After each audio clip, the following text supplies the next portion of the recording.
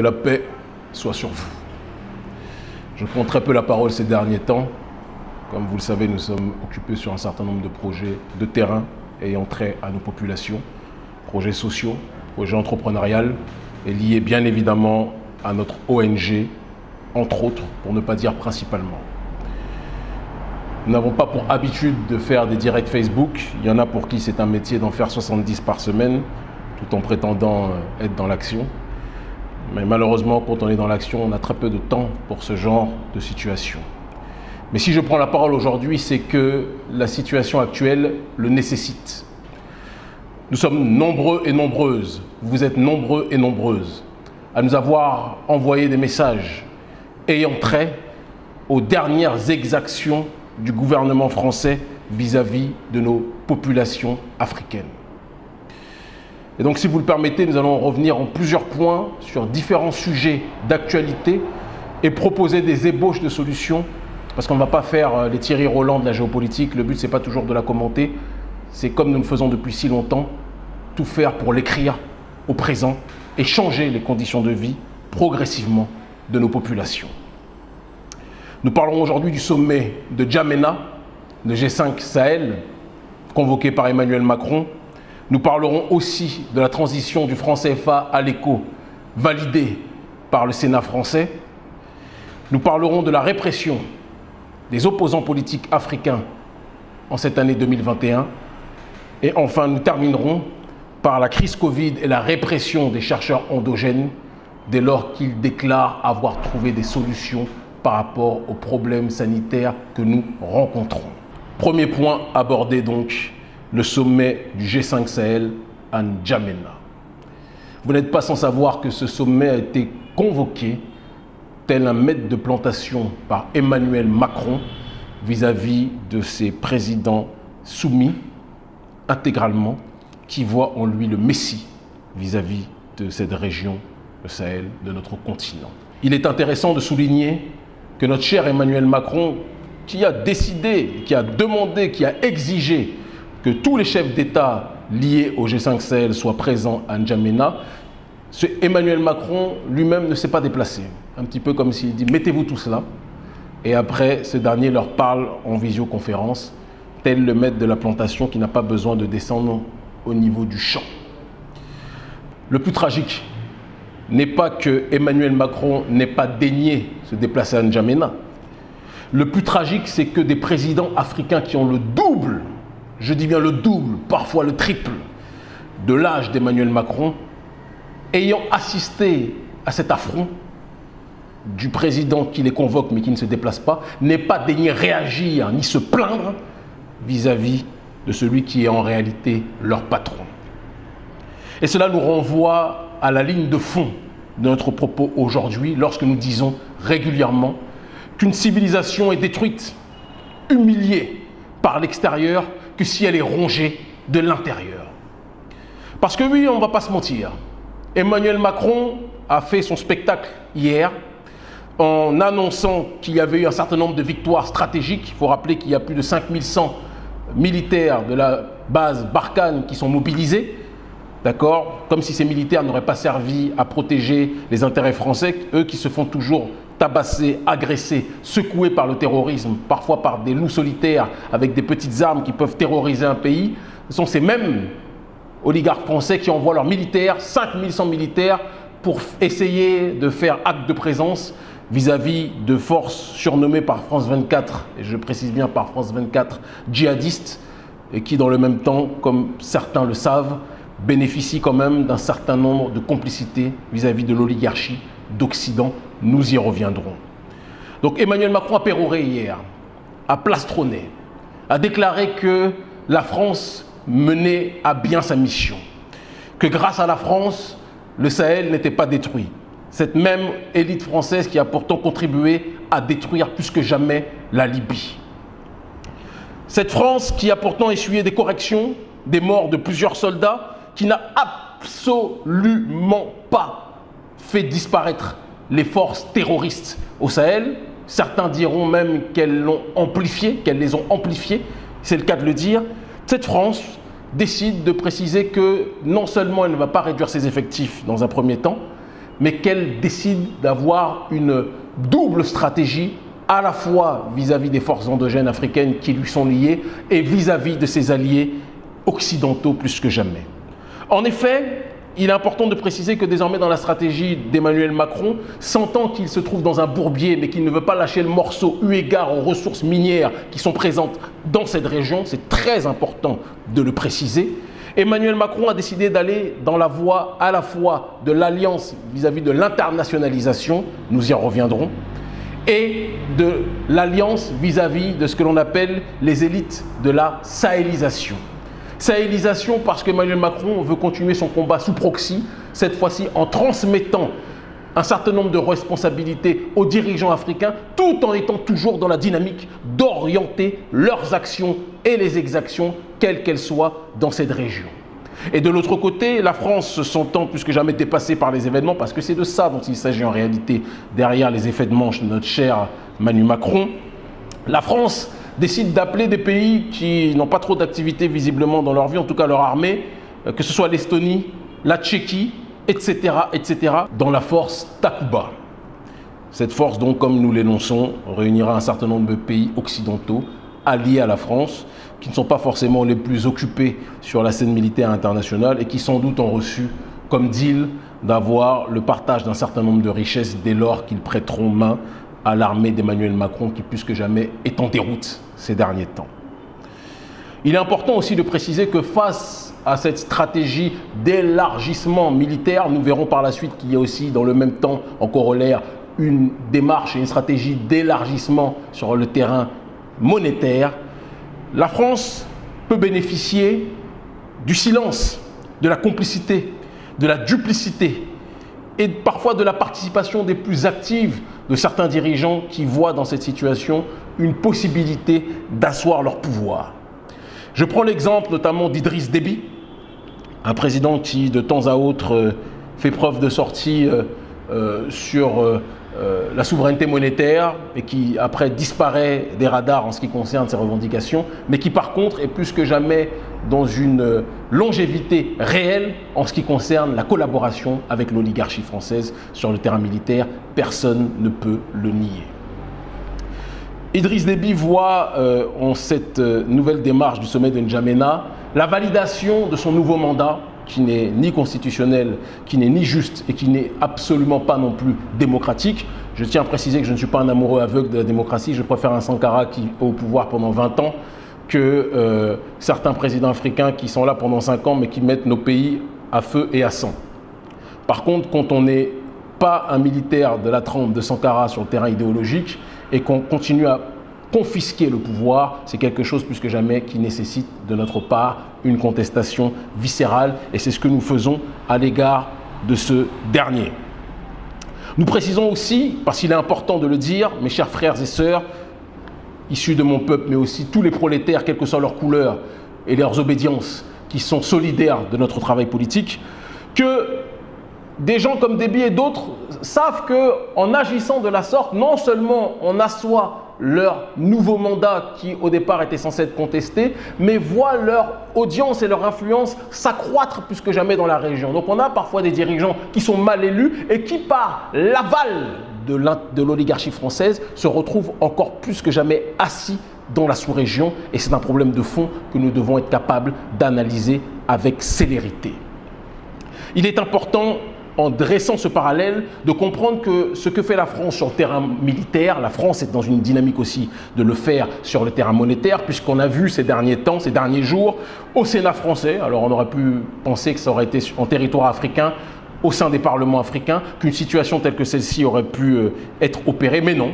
C'est au sein du Sénat français que les trois quarts des sénateurs français ont validé officiellement la transition du franc CFA à l'éco. Aucun parlement d'Afrique de la zone franche, je dis bien aucun, n'a été sollicité. Ah si, à l'exception d'un, mais qui en réalité n'est rien d'autre qu'un département français. Le, parlement d'un département français, j'ai même envie de dire que c'est un conseil général, ce n'est pas un parlement, puisque c'est le parlement ivoirien dont on sait, nous tous, d'accord, vous savez tous et toutes, que ces députés sont à la solde du plus grand protecteur des intérêts français sur le continent africain, en l'occurrence Alassane Draman Ouattara. Aucun Parlement africain ne s'est saisi de ce dossier. Pourtant, partout en Afrique francophone, nous avons activé les mobilisations sur le terrain, au péril de nos vies, en allant en prison, non pas en nous cachant comme certains le font tout en criant à des millions de kilomètres du terrain Viva la Révolution, d'accord? En allant en prison, en étant aujourd'hui, c'est important de préciser, interdit de rentrer dans quatre pays, nous risquons nos vies. Mais aucun Parlement africain ne prend ses responsabilités pour discuter de ces questions. Et quand l'un d'entre nous, parmi ces institutionnels, le fait, il est sanctionné comme au Bénin, sanctionné par une élite béninoise lâche qui préfère faire taire Yves et je lui passe mon salut, plutôt que de laisser le débat démocratique se faire sur les questions de la réforme du franc CFA. C'est un scandale. Et là, encore une fois, ça nous rappelle ce que nous disons en trame de ce propos. On peut se plaindre de l'extérieur, mais tant qu'on aura toujours de la lâcheté à l'intérieur, nous ne pourrons jamais être dans un processus d'autodétermination avéré. Et c'est pour ça que nous devons regarder dans les yeux nos élites en leur disant que le problème principal, ce n'est pas le vautour qui se sert de nous et qui a besoin de nous pour vivre, mais c'est nos dirigeants, nos dirigeants, et aussi certains d'entre nous au sein de la population, qui se complaisent dans cette situation, d'oppression et d'assujettissement. Ils s'enrichissent sur le dos de nos populations pendant que nous sommes plus que jamais ostracisés dans le giron de l'immuabilité. Emmanuel Macron, en validant cette démarche, on l'a dit à un certain nombre de reprises, mais on va le redire encore une fois, n'a pas transformé le franc CFA comme il le dit. Il a simplement élargi sous un vernis cosmétique la démarche de la zone franc à une dynamique beaucoup plus globale. Parce que l'objectif d'Emmanuel Macron, d'accord, il a en effet enlevé les comptes d'opération, il a en effet enlevé les représentants de la Banque de France à l'intérieur de nos banques centrales, comme si ça empêchait que nos propres euh, représentants et membres africains ne puissent pas être des agents d'influence plus que jamais de l'oligarchie française. Ils nous prennent pour des idiots parce qu'ils ont eu l'habitude, le problème c'est que d'avoir des Africains qui ne sont pas formés ni informés, qui parlent sans réfléchir, qui parlent en lisant une ligne de Wikipédia mais qui ne maîtrisent pas leur sujet. Et c'est grâce à cette situation-là que nous nous retrouvons baladés à gauche, à droite, et qu'il nous fait croire, alors qu'il est en train d'asseoir la colonisation militaire, asseoir la, colonisation monétaire, dans le même temps, il nous fait croire qu'il est en train de pousser l'Afrique francophone, entre guillemets francophone, à l'autodétermination. Une comédie. Emmanuel Macron, en faisant ça, veut pousser des pays comme le Nigeria et le Ghana qui ne sont pas prêts malheureusement parce qu'ils ne respectent pas encore les critères de convergence décidés au sein de la communauté économique des États d'Afrique de l'Ouest. Des règles ont été fixées. Au sein de cette communauté, des critères de convergence ont été imposés. Et malheureusement, ceux qui ont le critère de, les critères de convergence les plus respectés sont les pays de l'UMOA, de la zone franc au sein de l'Afrique de l'Ouest. Et donc Macron attend, entend passer par ce canal pour doubler tout le monde et forcer des pays comme le Nigeria et le Ghana à adhérer à la monnaie éco telle que conçue par lui, monnaie éco qui pirate le véritable projet de la monnaie éco voulu initialement dans les années 80 par la CDAO et ravivé par le biais de nos mobilisations. Certains nous diront Macron diable, Macron méchant, mais pendant combien de temps l'Africain, pendant combien de temps l'Africain va-t-il penser que des gens qui doivent leur succès dans le monde uniquement grâce au pillage de nos ressources, pendant combien de temps l'Africain va-t-il penser qu'ils vont laisser de bonne foi leur coffre-fort qu'est le continent africain? Ils ne vont jamais le faire tant que nous aurons des dirigeants qui accepteront de laisser faire. Le vrai problème, il est là. Nous passons notre temps à dire oui, la France ceci, la France cela, comme des victimes mais le véritable problème, le véritable enjeu, le véritable débat, c'est pendant combien de temps allons-nous laisser nos dirigeants se comporter comme ça, comme des laquais, comme des sous-hommes vis-à-vis des réalités du continent africain? Tout le reste n'est que palabres de Baki. Nous devons être capables de le reconnaître. Nous devons être capables de l'accepter, de l'entendre, de l'écouter. Et nous allons continuer avant d'arriver à la synthèse et à l'appel à la prochaine mobilisation. La monnaie éco imposée, et nous tenons là aussi à rappeler que nous attendons sa mise en circulation avec attention et passion, et qu'à la seconde même où des billets éco circuleront dans nos mains, nous verrons et chacun verra ce que signifie une monnaie qui perd de sa valeur rapidement dès lors qu'elle est décrédibilisée dès son commencement. Mais nous précisons que l'installation de la monnaie éco et de l'autre côté parallèlement l'élargissement de la dynamique néocoloniale militaire occidentale, rajoutons à la présence française la présence de l'Africom, des intérêts américains et de tous leurs partenaires, ceux qui doivent comprendre de quoi je parle le comprendront, je pense notamment au plan Oded Yinon, parce que quand on parle des États-Unis, on parle aussi d'Israël, il est important de le préciser, ça fera grincer les dents ceux qui travaillent pour ces derniers, mais de l'autre côté, ceux qui sont renseignés sur cette réalité géostratégique comprendront la nécessité de se prémunir vis-à-vis de tous ces mots M-A-U-X. Cette double présence militaire et économique occidentale doit pousser les populations à se tourner vers les véritables responsables. Parce que lorsque vous construisez un toit, c'est pour vous protéger et des intempéries et des voleurs qui pourraient venir par inadvertance à un endroit où ils n'ont pas été invités. Et donc vous construisez le toit pour vous prémunir de tout mot extérieur. Mais lorsque ce toit vous montre, malgré votre construction, son ultime défaillance, vous avez construit un, un, toit pour vous protéger des intempéries, il pleut tout le temps. Vous avez construit un toit pour vous protéger des voleurs, des gens viennent voler par le toit tout le temps. Si vous ne refaites pas le toit, c'est que vous êtes d'accord avec ce qui vous arrive constamment. Certains nous disent, Kémy, la meilleure façon de refaire ce toit, c'est de se présenter à des élections. Et je souris face à cette comédie.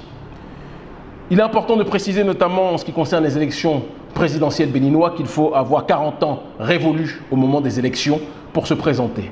Au moment des élections, j'aurai 39 ans, puisque j'aurai 40 ans minimum 6 mois après. Et donc, je ne suis pas autorisé, pour répondre à tous ceux qui me posent la question, à concourir à cette élection.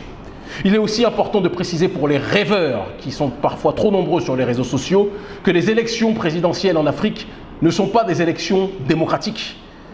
Les trois quarts des gens qui veulent se présenter sont souvent écartés et dès lors que vous êtes une véritable menace, on vous écarte d'une façon ou d'une autre et vous le savez. Ce qu'il faut, ce n'est pas uniquement penser par la voie institutionnelle, même si ça doit être peut-être une finalité. Ce qu'il faut, c'est être capable de réinventer le schéma visant à démobiliser ceux qui se présentent comme nos dirigeants, mais qui sont en réalité des entités dirigées par l'oligarchie d'Occident. Et ça nous permet de rebondir sur le troisième sujet en ce qui concerne la répression des opposants institutionnels en Afrique. Nous avons tous suivi ce qui s'est passé avec Bobby Wine, candidat, ancien artiste célèbre, vertueux, c'est pas quelqu'un qui a raté la musique et qui après s'est lancé en politique, il a réussi dans la musique, il a donné de l'amour au peuple, d'accord? Et donc il n'est pas venu en politique par frustration parce qu'il avait tout à y perdre, il est venu en politique par amour de son peuple. Ça change de certains euh, parasites sans doute payés par l'oligarchie d'Occident pour raconter n'importe quoi vis-à-vis des populations, même s'ils sont, par la grâce de Dieu, très peu écoutés. Bobby Wine est quelqu'un qui, dès lors qu'il est rentré sur la voie institutionnelle, a été persécuté. Quand je dis persécuté, emprisonné, agressé, tabassé, des membres de son entourage sont assassinés D'accord? Et alors qu'il aurait dû gagner les élections, il est évidemment effacé de la surface politique dès lors qu'il a décidé de s'opposer à un vieux crouton qui auparavant était un gardien de l'indépendance, mais qui s'est transformé très rapidement en un gardien de la dépendance vis-à-vis -vis du pouvoir, parce que ces gens-là, lorsqu'ils arrivent au pouvoir, leur vie change. Ils oublient toutes leurs idéologies, ils oublient toute notion de panafricanisme, ils oublient toute notion de justice sociale. La seule chose qui les intéresse, c'est de garder le pouvoir. L'indépendance vis-à-vis de l'Occident n'est plus leur problème. La seule chose qui les intéresse, c'est la dépendance vis-à-vis du pouvoir et ils sont prêts à toutes les compromissions pour ça. La femme de Bobby Wine a été agressée. Au Sénégal, Ousmane Sonko vit aujourd'hui une injustice politique. Je précise et je répète, une injustice politique. Comme l'a dit Abdoulaye Wade, avec lequel j'ai eu de très nombreux désaccords, mais qui a le mérite, en vieillissant, de devenir de plus en plus sage, reconnaissons-le, Ousmane Sonko a fait preuve de naïveté. Parce qu'un homme politique institutionnel, autant combattu par le pouvoir en place, ne peut pas se permettre de chercher à se faire masser le soir en dehors de son domicile sans témoin. Il laisse la porte ouverte à toute invention et manipulation de commanditaires qui n'ont qu'une seule obsession, l'effacer de la scène politique sénégalaise. Cette répression qui nous rappelle les airs et les heures les plus sombres de l'histoire en ce qui concerne l'élimination des opposants doit nous pousser à nous questionner sur qui sont nos plus grands ennemis. Bien sûr que Macky Sall travaille sous les ordres des intérêts français, nous le savons tous et toutes. Et ce n'est d'ailleurs pas un hasard si les personnes, en réaction à la répression que connaît Ousmane Sonko, ont décidé de s'attaquer aux industries telles que Total, Orange, etc. Ce n'est pas un hasard, ou Auchan. Ils savent très bien pourquoi ils l'ont fait, parce qu'en attaquant Ousmane Sonko, c'est la souveraineté sénégalaise qu'on attaque, comme lorsqu'on m'attaque un peu partout en Afrique francophone, quand les dirigeants, les vassaux africains m'attaquent, c'est parce qu'ils répondent aux ordres émanant de notre cher et tendre Emmanuel Macron. Mais si Emmanuel Macron donne les ordres, l'Africain qui est à la tête de nos États a la responsabilité et a le devoir du choix. Soit servir les intérêts de son peuple, comme l'a fait Thomas Isidore Sankara, ou comme l'a fait dans un autre ordre d'idée, même si on peut en rediscuter, Muammar al-Raddafi, ou de l'autre côté, servir les intérêts étrangers et accepter aussi, in fine, d'en payer le prix. En s'attaquant à Ousmane Sonko comme ils le font au Sénégal, en s'attaquant à Bobby Wine comme ils l'ont fait, en Ouganda, en s'attaquant à ma personne comme ça se passe un peu partout en Afrique francophone, les autorités africaines nous montrent qu'elles ont le pouvoir de réprimer leurs semblables, mais qu'elles ont par contre la facilité à se mettre à quatre pattes lorsqu'il s'agit de recevoir les ordres par tous les orifices nécessaires émanant de l'oligarchie occidentale et plus précisément de l'oligarchie française. Important aussi, il est d'aligner dans ce raisonnement, en quatrième point, lorsque l'on parle de la crise Covid, la répression, je dis bien la répression des chercheurs africains endogènes qui sont nombreux à avoir, ou qui déclarent être nombreux du moins à avoir trouvé des réponses à la crise mondiale sanitaire du Covid, à base de plantes. Parce que dans nos traditions, on nous rappelle que les plantes sont les premiers médicaments.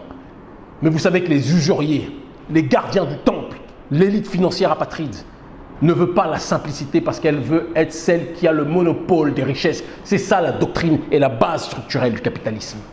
Et donc ils n'aiment pas les personnes qui, euh, dans leur village, sont capables de connaître la science des plantes. Science vient du latin scientia qui signifie connaissance.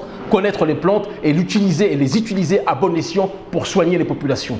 Quand on dit recette de grand-mère au sein de nos populations, c'est parce qu'on sait que de par nos mères, de par nos sœurs, de par nos femmes, elles sont les gardiennes les gardiennes du secret traditionnel en ce qui concerne la médecine de nos âmes et la médecine de nos corps.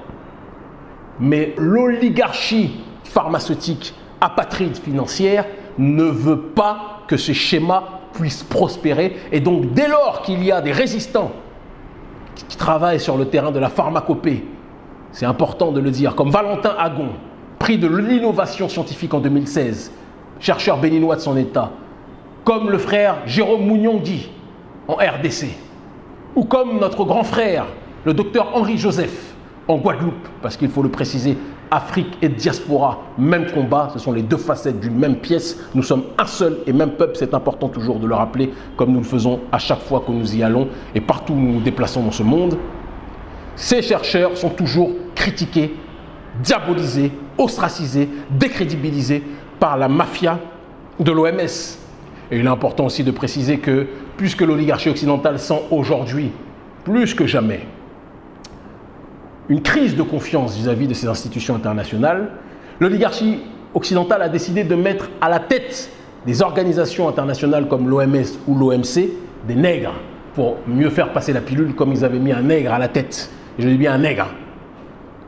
Parce qu'on se comporte comme des nègres lorsqu'on se comporte comme ça malheureusement, et non pas comme des membres hommes noirs et femmes noires du peuple glorieux originel, comme Barack Obama à la tête des États-Unis, on a mis de la peinture noire sur les barreaux blancs de la prison blanche qui incarcère nos populations pour faire croire qu'en réalité c'était notre maison. Voilà la situation dans laquelle nous nous trouvons. Eh bien l'OMS réprime, décrédibilise et donne l'ordre à tous nos dirigeants de ne pas soutenir les travaux endogènes de nos chercheurs. Pourtant, la Russie ou d'autres pays eux sont dans la course pour trouver des remèdes propres à chez eux pour les vendre à l'humanité dans leur globalité. N'est-ce pas?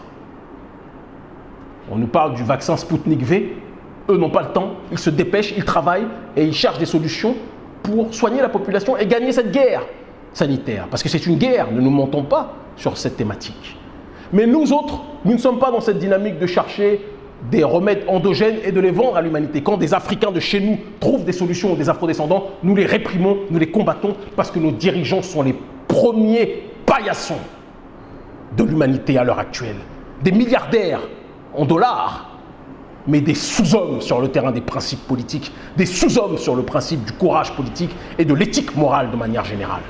Nous devons être capables de le dire, nous devons être capables de le préciser. Et c'est pour ça qu'en conclusion, face à cette situation qui dépasse l'entendement, nous sommes injuriés de toutes parts, nous sommes menacés de toutes parts. Le continent africain est assujetti par l'extérieur et trahi par l'intérieur. Et ils sont aussi intéressants, très forts, ces oligarques occidentaux, pour payer parfois des agents provocateurs qui racontent tout et n'importe quoi sur le combat par la grâce du Tout-Puissant, peu écouté, je le précise encore une fois, d'accord? Mais pour essayer de désorienter le peu qui les suivront par rapport au combat fondamental que nous devons relever en ce début du XXIe siècle.